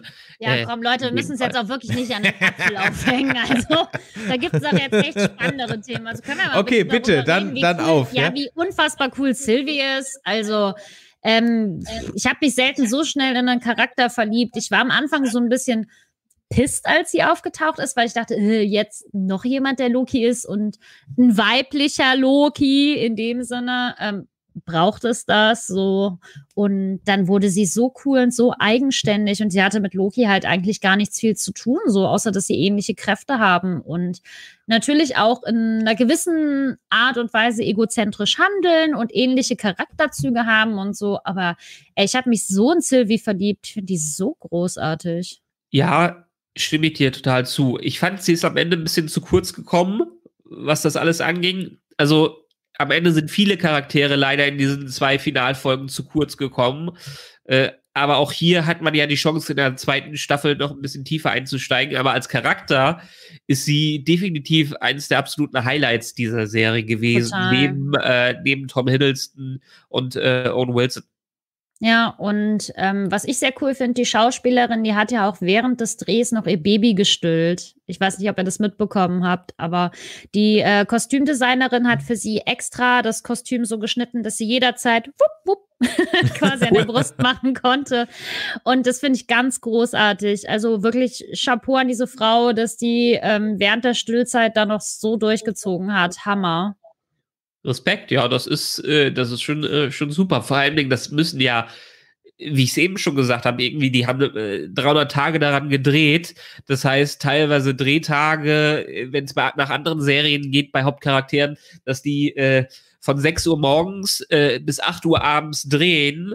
Mhm. und sich dann noch um ein Kind zu kümmern, gleichzeitig um, um Säugling, das ist, das ist so eine unglaubliche Leistung. Ja, und ähm, was, was haltet ihr denn eigentlich von dem Kuss? Ich, das wollte ich dich ehrlich gesagt gerade fragen, ja. Was, äh, äh was hast du denn? love it! Yes! Do it! Aber es war ja dann leider am Ende schön. dann an, an doch zumindest auf den ersten Blick nichts Nachhaltiges, was ein bisschen mm, schade war. Also ja und nein. Ich finde, man hat schon so eine gewisse Anziehung zwischen Loki und Loki gemerkt. Und ich finde, das ist einfach greatest love story, wenn du so sehr mit dir im Reinen bist, dass du dich in dich selbst verliebst. Das finde ich so geil. Also, ähm, das muss erstmal einer nachmachen als, als Chip, ne? Das finde ich schon sehr gut. Und das Und mit der Decke, wo die mit der Decke saßen, das war so ganz süß. Da hat sie auch so ein bisschen sich so, so erst geziemt und dann, ja, okay, ne? Und ja, dann küssen die sich und dann sagt sie aber, ja, mir ist das jetzt trotzdem wichtiger, was halt mein Ziel ist. Und das ist typisch Loki ich meine, oberflächlich mag es eitel wirken, aber man sagt ja auch, man kann niemand anders lieben, bevor man nicht sich selbst liebt. Genau. Absolut, absolut. Und das finde ich ganz großartig. Ich finde es leider sehr schlimm, dass ähm, viele Artikel da irgendwie drüber gepostet wurden, dass es Inzest ist, weil das hat ja mit Inzest überhaupt nichts zu tun. Die sind ja nicht verwandt. Ja, außer auf so einer weiß, metaphysischen Ebene verwandt. Also. Ja, aber das ist doch totaler Quatsch. Ja, also, das ähm, halte ich auch für völligen Quatsch. Also, okay. Absoluter Bullshit, was die Leute da geschrieben haben. Da habe ich nur einmal mit den Augen gerollt. Aber ich fand es sehr, sehr traurig, dass die das denen irgendwie vorgeworfen haben. Okay, habe ich. Okay, völlig. Hä? Wer kommt auf sowas? Sorry, ich bin sehr ja. invested in diesen Chip. Was liest du für Portale bitte? Ja, also wo steht sowas? Im Aber Internet. Das, das sind doch wieder diese typischen Kommentare, die völlig an dem äh, Kern der Sache vorbeigehen. Vorbeigehen, eben, das ist es halt. Wo die, wie die Leute wieder irgendwelche persönlichen Präferenzen reinwerfen und äh, können zu Hause der äh, Kathol äh, Katholizismus pre äh, predigen, aber im Hinterzimmer werden dann, wird sich dann an den kleinen Kindern Außerdem, so. außerdem hat Limek völlig recht im Chat, es ist kein Inzest, wenn, dann ist es Masturbation, ja. Also so, so sieht's nämlich aus. Ja? So sieht's nämlich aus. Also als sie sich geküsst haben, bin ich ja wirklich vom Sofa aufgesprungen und habe laut geschrien, weil ich mich so gefreut habe, weil ich finde, die zwei haben so eine tolle Anziehung als, ähm, als Schauspielpartner und ah, als es dann endlich dazu kam und es dann nochmal getwistet wurde, da, oh, ich habe mich so gefreut, ich fand das so gut. Es war richtig gutes Storytelling für mich. Ja, ich fand so ein bisschen den, den Bruch zwischen den beiden. Ich meine, einerseits sind die so zusammengewachsen, dass sie am Ende den Kuss gewagt haben. Äh, andererseits ist die Beziehung dann immer noch so fragil, dass dieser Moment äh, selbst ein kleiner Kommentar wieder die auseinanderbringen kann. Äh, das war für mich jetzt ein bisschen zu sehr Klischee. Sie hätten auch gerne weiter zusammenhalten können, aber es ist wahrscheinlich im, in the service of the bigger story so ungefähr. Ja, jetzt müssen wir mal schauen, ob die gute Lea es jetzt erstmal sich verabschiedet hat oder nur ihre Kamera gerade den Geist aufgegeben hat. Schauen wir mal, ob sie äh, gleich wieder zu uns stößt. Ähm, Michael, Strom wer, wer, ist weg. Ja, wahrscheinlich ist der, ist der Strom. Nee, sie hat geschrieben, Strom ist weg. Okay, alles klar. Das ja. heißt, äh, so wie es ausschaut, ist der Strom in Leverkusen weg. Okay, ähm, ja, das ist live, liebe Zuschauer. Äh, das ist äh, äh, ja, live im Internet, ja, Deutschland äh, 2021. Der Strom ist weg, aber ich sag mal, ich bin froh, dass ähm, Lea zumindest noch ihr äh, Shipment loswerden konnte, nämlich, dass sie sich gefreut hat, dass Silvi und Loki noch ein bisschen rumgeknutscht haben. Wir haben auch schon unsere Stunde rum. Ich möchte aber trotzdem noch ein bisschen über zwei, drei Dinge mit dir sprechen, Michael. Vielleicht schafft's ja Lo ähm, Loki, sage ich schon, Lea auch gleich wieder, wieder rein. Gucken wir mal. Ähm, dann lass uns doch derweil mal über Möbius reden. Ja. Kein Jetski für Mobius. Was soll das denn? Ja, das werden wir wahrscheinlich im, im äh, Serienfinale äh, sehen, dass er seinen Jetski am Ende bekommt. Ja, er, ist, er hat nicht viel zu tun gehabt in den zwei Folgen oder in den letzten Folgen. Äh, ich, ich mag Owen Wilson. Ich hatte das irgendwie am Anfang schon mal gesagt. Ich bin nicht so der größte Fan von denen in den anderen Filmen, aber hier ist er eine Charisma-Bombe. Und das hat er äh, da hätte ich mir mehr von ihm gewünscht, aber war wahrscheinlich die Zeit und die Story nicht da, um mehr auf ihn einzugehen. Also es, äh, dieses kurz auf die äh, Renslayer zu treffen und dann auch wieder zu verschwinden so ungefähr, da hat man gemerkt, dass einfach für die Story keine Zeit mehr da war.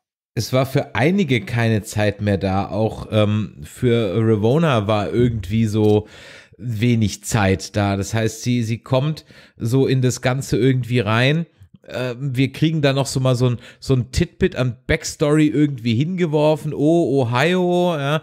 Oh, ähm, äh, 2018.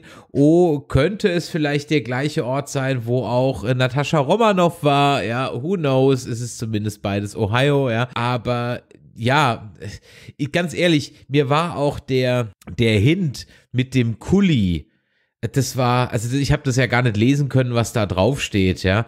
Ähm, und ich habe schon einen großen Fernseher, aber das war mir ein bisschen zu, ja, ich hätte jetzt nicht noch gebraucht, dass ich jetzt noch weiß, dass die Lehrerin an irgendeiner Schule war. Wenn das keinen Payoff mehr hat, dann. Pff, Zumindest jetzt nicht. Das ist so ein ja. bisschen äh, so die, die, die Trailer für die nächsten Staffeln, die Teaser für die nächsten Staffel. Das war in, in diesen zwei Folgen einfach leider nicht wichtig. Man musste nur mal kurz einchecken, was die gerade machen. Und das war's leider. Schade, aber auch dann verständlich. Das ist so ein bisschen jetzt gerade wie, wann war das? In der ersten Staffel von Lost, als die Hedge gefunden wurde.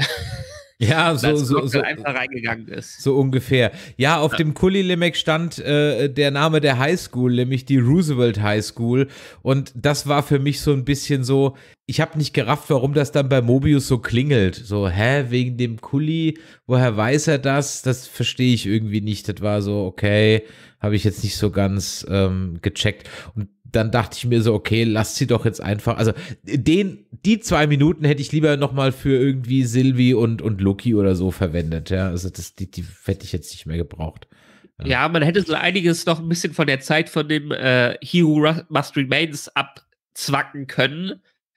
Ich fand es nötig, ich fand es gut, wie sie es gemacht haben, aber der hat natürlich den Großteil der letzten Episode eingenommen, sodass er einfach keine Zeit mehr für den äh, Rest da war. Aber ja, ich bin auch so ein bisschen hinhergerissen. Du hast ja eingangs gesagt, du magst diese Exposition-Bomben. Ich mochte sein Schauspiel, aber ich fand eigentlich, das ist eine, das ist so, die, die Geschichte, die er erzählt, ist was für ein Intro zu einem Film. Also praktisch so, ja, das Cold Open für den Film ist das, was er erzählt und nicht das Ende einer Staffel. Das, das war für mich so, ja, deplatziert, ja. Dann hätte ich ehrlich gesagt lieber so einen Cliffhanger irgendwie gelassen und dann ähm, äh, die halt dann da gelassen und dann hätte dann einer sagen können, okay, ähm, ich bin, äh, ich bin hier The Kang und vorbei und dann Post-Credit-Scene, weiter geht's in Staffel 2. Ja. Der, der, der, der, Sinn ist ja, dass er nicht äh, Kang ist. Ja, ich das total weißt, was ich meine Ja, ja, ich weiß, was du meinst. Mich hat das total an Matrix 2 erinnert, als sie den Architekten treffen. Wo, Ähm. wo Neo äh, rein, war das Matrix 2 oder war das Matrix 3? Ich, Matrix 2, wo er den Architekten der Matrix trifft mit den ganzen großen Bildschirmen im Hintergrund, wo der Typ mit dem weißen Bart äh, redet.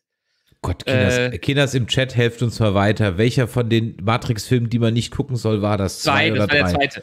Okay. Das war der zweite. Weil am Ende trifft er darauf und sagt, dass Neo äh, eine bestimmte Rolle hat, als derjenige, der wieder die Matrix rebooten muss, quasi, und Neo bricht da aus. Und das ist, wenn die Szene auch mittlerweile schwachsinnig ist, äh, war für mich eine der besten Szenen in den Sequels, die ich auch irgendwann mal zitieren konnte, komplett auf Englisch. Und daran hat mich das erinnert, so den Architekten zu treffen. Und der Architekt hatte ein paar coole Insights, die er rauswirft, ein paar coole Dialoge und äh, konnte auch gut schauspielern. Und das war es für mich wert, das äh, zu machen, um das Ganze in Kontext zu bringen und genau diese Figur vorzustellen, die, wie ich hoffe, dann in Form von Kang, The Conqueror in der zweiten Staffel sehr, sehr viel dabei sein sollte. Mhm. Mhm. Ja, und dann haben wir, also wie gesagt, Mobius, der, was, wo, wo ist er jetzt eigentlich? Er ist ja noch im Void. Der, also der, der, richtige Mobius ist doch noch im Void, oder ist der dann wieder zurückgekommen Nee, nee. mit der, nee, der hat sich ja, der hat ja noch ein Time-Dingsbums, ähm, Timepad, genau. Genau, genau. Ja. Der ist jetzt in, äh, ja, das ist jetzt die Frage. Genau, das Wo- ist doch die Frage, genau. Ja, wo sind wir, als wir in der TVA an, als Loki in der TVA ankommt und sich keiner mehr an ihn, ihn erinnert? Sind wir in einer alternativen Zeitlinie TVA oder wir, wurde die TVA wirklich umgeschrieben? Was gelten hier für Regeln? Gelten die rei- gleichen Regeln wie im Multiversum, dass es mehrere TVAs gibt? Oder ist es nur die eine Konstante, die immer umgeschrieben wird? Ist es der Mobius und äh, die B irgendwas, die wir kennen? Oder sind es doch Varianten wieder von ihnen? Also da ja auch die Statuen sich im Hintergrund geändert haben von drei Timekeepern zu Kang, Ja. gehe ich mal davon aus, dass wir jetzt in einer anderen Timeline sind. Ja, Ob das dann vielleicht die eigentlich richtige ist, das steht ja auf einem anderen Blatt. ja, ich glaube, weil die äh, TVA ihre eigenen Regeln hat, könnte ich mir schon vorstellen, dass es nur diese eine TVA-Timeline gibt, die aber immer umgeschrieben wird. Also nicht, dass die nicht branched und dass die nicht ihre Verzweigungen bekommt, sondern dass die TVA konstant ist, aber die TVA wie wieder zurück in die Zukunft dann umgeschrieben wird. Also nicht wie zurück in die Zukunft 2 mit den Zeitsträngen, sondern wie zurück in die Zukunft 1, wie er sich quasi äh, überschreiben kann. Und Ja, aber du weißt doch, dass im MCU Zeitreisen nicht funktionieren wie bei Zurück in die Zukunft. Das sagen sie doch sogar noch explizit. Ja, aber das ist ja genau der Twist daran, dass das bei der TVA dann vielleicht so genauso wäre wie in Zurück in die Zukunft. Weil du erinnerst dich, andere Regeln und viele spekulieren ja, dass das auch im Quantum Realm ist, die TVA. Äh, Mhm. Dass die im Quantenuniversum ist, wo ja ganz eigene Regeln äh, gelten und äh, wo wir dann auch in Quantumania, dem dritten Ant-Man, Ach so, du meinst also, dass praktisch es gibt die große richtige Welt, aber das, was wir jetzt gerade sehen, ist eigentlich auf irgendwie atomarer Quantenebene, wo halt sowas passiert. Genau. Und äh, Es würde Sinn machen, weil man sieht ja Chronopolis in einer Ant-Man-Passage, als er da in der Quantenwelt ist, ja mal ganz klein im Hintergrund.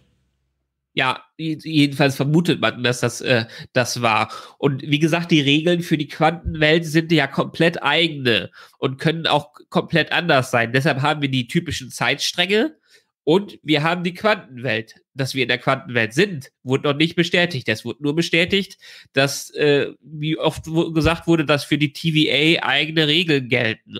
Und die könnten natürlich jetzt wieder sein, dass die TVA auch eine Zeitlinie von hinten nach vorne, äh, von vorne nach hinten hat, wo die gegründet wird und bis zum Ende durchgeht und wo He Who Must Remains immer zurückgegangen ist, um die TVA von Neuem zu gründen äh, und wo jetzt der andere Kang reingekommen ist und am Anfang der TVA eingegriffen hat, um sich da drin zu positionieren, was dann alle Varianten, die in der TVA le leben, quasi umschreiben würde.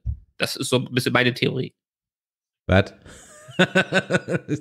ich kann dir nicht Ja, das- folgen. Das ist, das ist wie, äh, dass die eine Zeitlinie haben in der TVA und diese Zeitlinie wird immer nur umgeschrieben. Die Ah, hat keine okay. Äste, sondern Mhm. es werden die auch die Vari äh, Varianten, die in der TVA unterwegs sind, die kriegen dann halt ein neues Gedächtnis. Aber es sind keine Varianten von den Varianten. Verstehe. Okay. Ja, also das heißt, wir haben einen Zeitstrang, der halt immer wieder, okay, ja gut, aber ah, ah. während wir warten, dass äh, Lea ihr WLAN wieder kriegt, können wir uns ja noch mal ganz kurz, ähm, bevor wir dann in die Fazitrunde gehen, wo wir dann zu dritt sind, noch über den Anfang unterhalten, ähm, wo ich mir auch immer so denke, wer setzt sich da hin und sucht diese Zitate bitte raus, ja? Denn als äh, das Marvel-Intro kommt, ähm, dann ist das Ganze wirklich also durch äh, ähm, äh, mit äh, durch äh, ja Design, soundtechnisch mit Zitaten aus MCU-Filmen und aber auch der Weltgeschichte und ja, auch Greta Thunberg ist jetzt Teil des MCUs, ja. How dare you? Und da ist ja wirklich alles drin. Also wir haben äh, Captain Marvel und Endgame und Thor Ragnarok und aus jedem Film kommt irgendwie jemand zu Wort. Also ähm, ja, es sagt eigentlich jeder was. Also äh, äh, Steve Rogers sagt was und äh, Falcon sagt was und hier der der Black Panther und äh, die Black Widow und äh, der der Star Lord. Also jeder darf im Grunde genommen mal ganz kurz was sagen und dann kommen ja noch Sätze drauf, ähm, die ja dann von Nelson Mandela habe ich gleich erkannt. Gut, die Greta Thunberg ähm, war noch äh, gleich zu erkennen. Dann war natürlich noch ein No-Brainer hier. Ähm, äh, Neil Armstrong ähm, und äh, Nelson Mandela. Äh, dann war noch dabei Malala Yousafzai. Das ist eine Autorin aus Afghanistan die sich erfolgreich gegen die Taliban gewehrt hat, beziehungsweise sie wurde von Taliban angeschossen, lag, glaube ich, ewig im Koma und äh, hat sich dann ähm, äh, aber äh, erfolgreich gegen die gewehrt und ist inzwischen eine internationale äh, äh, Schriftstellerin und äh, ja, ich sag mal auch eine, eine Ikone in, in, äh, in, in Afghanistan. Wir haben ein Zitat von äh, Maya Angelou, das ist eine amerikanische Bürgerrechtlerin und wir haben noch ein Zitat von Ellen Johnson Sirleaf, das ist eine ähm, Amerikan nee, liberianische äh, Politikerin und Friedensnobelpreisträgerin. Also äh, da frage ich mich auch immer, also finde ich ja toll, ne? Aber wer dann sowas raussucht, ne? Also vor allem die letztgenannten, muss ich sagen, und ich bin schon würde mich als relativ interessiert für Weltpolitik. Die hatte ich jetzt, also die, ähm, äh, die Afghanin, die hatte ich noch auf dem Schirm, aber die anderen zwei, von denen habe ich noch nie gehört. Was ich dann auch schön finde, man lernt ein bisschen was. Ja, definitiv. Jedenfalls, wenn man ein bisschen tiefer da reinsteigt. Äh, was das, der Anfang und das Ende dieser Episode für mich einfach äh, zeigt, vor allem auch der Anfang. Wir haben die Zitate vom Anfang des MCU über die Weltgeschichte. Bedeutet, das, was wir jetzt in dieser Episode sehen, symbolisch, hat Einfluss auf alles, was danach kommt. Nicht nur die Loki-Serie, sondern jegliche, jegliche Inkarnation des MCU, die jetzt hier rauskommt, das ist der Ground Zero für alles, was jetzt passier passieren wird. Wir hatten zwar WandaVision ein paar Effekte und Falcon auch ein paar Effekte, aber das, was wir jetzt hier sehen, ist vergleichbar, meiner Meinung nach, mit der Bedeutung wie ein Iron Man 1, der alles gestartet hat. Ja, so ein bisschen. Und das, da- und das soll dieses Intro zeigen. Und das soll vor allem auch die äh, Einführung von He Who Must Remains zeigen. Ab jetzt wird alles anders sein, beziehungsweise ab jetzt haben wir wieder ein Ziel, was wir verfolgen. Mhm. Im Chat wird noch darauf hingewiesen, dass das Ende mit der äh, Kang-Säule ein bisschen was von Tim Burtons Planet der Affen hatte, als Mark Ja. Wahlberg ja dann im Grunde genommen zurückkommt und dann eben diese Ape-Affen-Lincoln-Statue sieht. Stimmt, ja. Ja. Da hast du vollkommen recht. Das ist wirklich so, by the way, ich stehe auf die Affenfilme, ne, aber der ist wirklich, und ich stehe auch auf Tim Burton, aber bei, was er sich bei dem Film gedacht hat, ja, es ist, ich weiß es nicht. Ja, der, das ist schon ein bisschen eine Preview für das gewesen, was er jetzt in den letzten 20 Jahren verbrochen hat, so ungefähr. Ja, Aber nachdem er seine Gothic-Phase irgendwie durch hatte, war es ja. komisch. Also die alten äh, Planet der Affen-Filme, ja, die kann ich mir angucken. Ich finde, eine der größten und besten Trilogien, die wir bekommen haben, ist die neue Trilogie von Planet der Affen. Die ist sowas von episch und gut und immer besser werden gemacht. Eine, eine, für mich eine der besten Filmtrilogien der, der Gegenwart, definitiv. Die habe ich noch gar nicht ganz gesehen. Ich muss mir die mal demnächst zu Gemüte führen. Aber ich glaube ehrlich gesagt, jetzt müssen wir mal schauen. Die Lea schreibt gerade, ihr WLAN lädt und lädt und lädt und lädt. Ja. ja mal gucken. Ich glaube, sie wird es wahrscheinlich heute äh, nicht mehr schaffen. Ähm, wir würden aber, falls sie danach noch ein kleines Fazit einspricht, das hier in den als Podcast dann noch dran schneiden. Also wenn ihr dann die Folge hört, dann hört ihr wahrscheinlich gleich noch mal das äh, Fazit äh, von Lea. Und deswegen, ah, da ist sie wieder. Schau an, gerade eben wollte ich noch sagen, guck an, da bist du wieder. Ja. Sorry, es ist alles gut. Stromausfall ja. in der ganzen Straße. Das passiert ja jetzt halt mal nach der Flut. Alles gut. Wir sind auch schon gerade auf die äh, Zielgerade eingebogen und wollten jetzt mal dein Fazit hören, ähm, was du jetzt über diese Staffel, die erste Staffel, Loki sagst. Ich glaube, der dann noch eine zweite, was wir von WandaVision ja nicht kriegen und von Forken, glaube ich, auch nicht. Und nee. ähm, also Fazit zu der ersten Staffel und Einordnung mit den anderen zwei Serien. Ich finde ganz gut. Also die Folgen haben mir Spaß gemacht. Ich fand es nicht so gut wie WandaVision, weil es einfach, der Grund ist ganz klar, Scarlet Witch ist einer meiner Lieblingsfiguren. Das kann man halt nicht so schnell ähm, übertreffen, aber ich fand es trotzdem super. Es hat Spaß gemacht. Ich habe jede Woche neu gerätselt und überlegt und es hatte immer coole Cliffhanger und ich fand Sylvia als Figur einfach awesome und Loki war cool. Die Nebencharaktere waren witzig. Also es war rundum für mich eine gute Serie, die zwischendurch so ein bisschen ihre Schwächen hatte, wenn sehr viel erzählt wurde im Dialog. Aber ähm, ansonsten würde ich da fünf Sterne drunter setzen. Fand es echt super. Michael, dein Fazit? Ich finde WandaVision auch besser, äh, weil sie einfach anders war und auch also als Produkt an sich gut funktioniert hat als abgeschlossen äh, als abgeschlossenes Produkt. Ich fand die Serie gut. Ich würde ihr ungefähr, ich wahrscheinlich sieben von zehn Gummipunkten geben. Sie hat vor allen Dingen durch Tom Hiddleston und alle anderen Schauspieler gelebt. Die ja, haben total. viel, viel Leben damit reingebracht. Ich fand sie besonders, weil ich hatte das gerade schon gesagt, als du äh, raus warst. Gerade diese Folge, gerade die Ereignisse, die jetzt hier passiert sind, sind Ground Zero für alles, was jetzt kommen wird, in jeglicher Inkarnation vom MCU. Deshalb gebe ich ihr eine besondere Bedeutung. Und ich glaube, wenn sie ein bisschen aus ihren Fehlern in der ersten Staffel lernen, kann das noch richtig, richtig gut werden, was da folgt. Ansonsten ist es ein, ist man kann sich's angucken und man hat Spaß dabei. Es hat seine Schwächen, es hat seine Längen äh, aber man wird durchweg gut unterhalten. Von ja, daher. und es sieht auch immer gut aus. Also ich hatte ja. keine Szene, bei der ich gesagt habe, irgendwie Kack CGI oder so. und du? Ja, ich, äh, also ich fand WandaVision auch einen Ticken besser, weil es einfach mutiger war. Ja, weil es einfach mal sich ein bisschen was getraut hat, mal was anderes zu machen. Ähm, es ist für mich aber im Grunde genommen dann gleich auf Platz zwei, weil die Story für mich am Ende des Tages ein Ticken kompakter war. Also es war eigentlich ein überlanger Film, was okay war. Ist immer noch besser als Forken. Also Forken werde ich, glaube ich, nie wieder schauen, ganz ehrlich.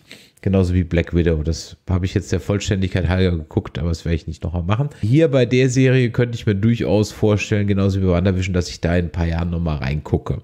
Und äh, klar, das sind keine Serien, wo man sich mal eine Folge mal reinzieht. Also ich zumindest werde es nicht tun. Nicht so was für sich wie bei Deep Space Nine, wo man einfach mal eine random Folge rauspickt oder TNG, wo man sich einfach mal eine random Folge rauspickt, weil sie einem gerade bei Netflix angezeigt wird.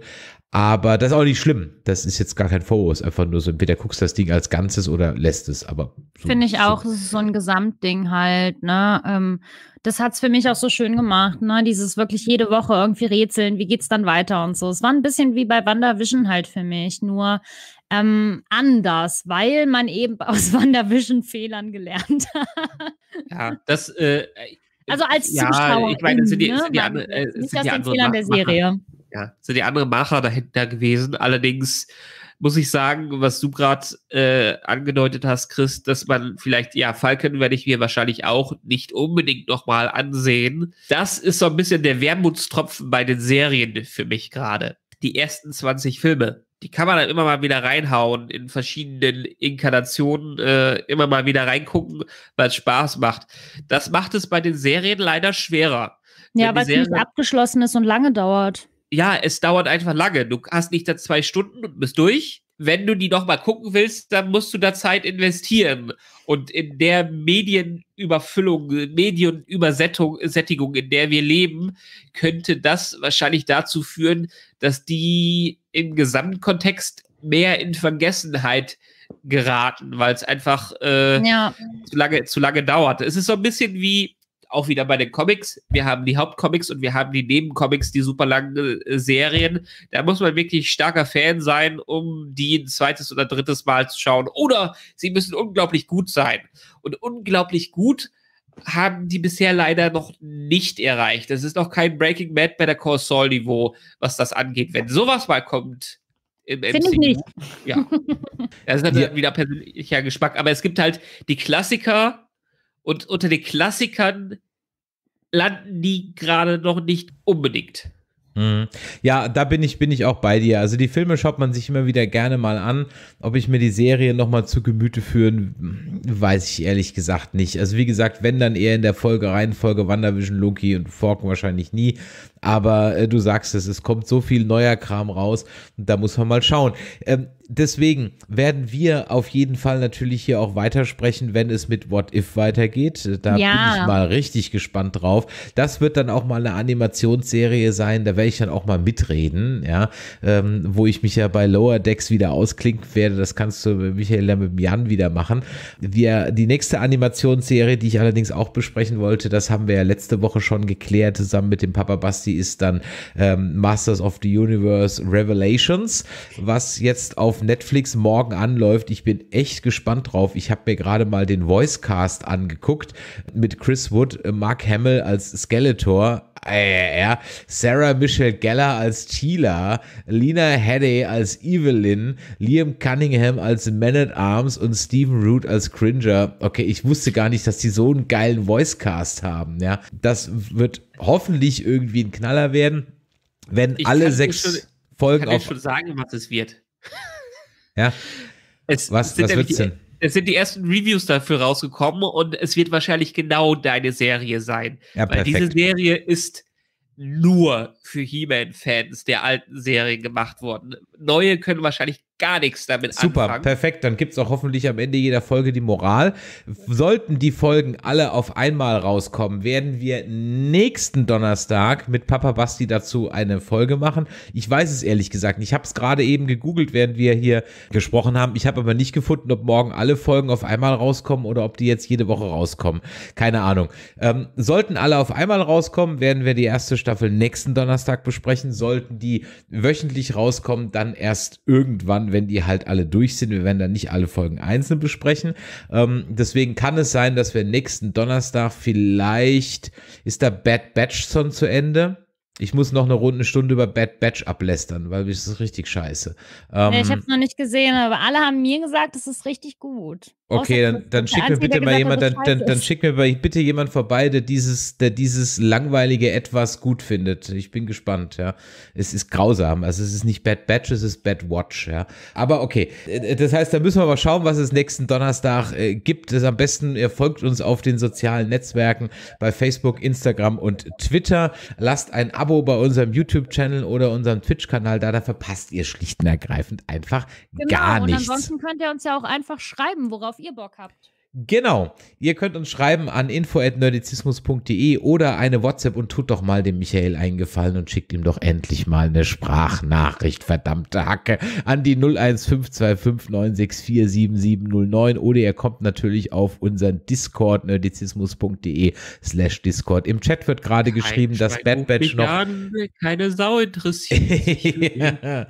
Im Chat wird gerade geschrieben, dass ähm, Bad Batch noch vier Folgen hat. Das heißt, nächste Woche wird es kein, äh, auch noch kein Batch mit den, kein Bad Watch, Bad, Bad, Bad Watch, blablabla, mit den Jedi Nerds geben. Uns wird auf jeden Fall nächste Woche noch ein Thema einfallen. Also von daher, nein, Limik, wir werden nicht nur For All Mankind reden. Der Michael hat es immer noch nicht gesehen. Ja.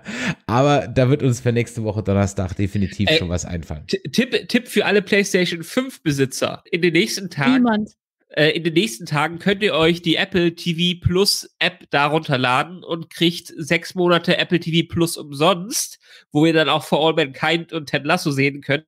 Das ist nämlich, lieber Lebeck, für mich äh, die Chance, nicht nur Ted Lasso Season 2 zu sehen, sondern auch mit For All Mankind anzufangen. Gut, dann hätten wir das auch geklärt.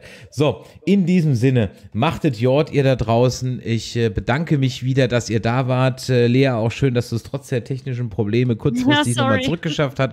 Alles gut. Und in diesem Sinne, nächsten Donnerstag 21 Uhr sind wir wieder da. Schaltet einfach ein, das Thema wird geil, ihr wisst es. Bis dann. Ciao. Tschüss. Ciao.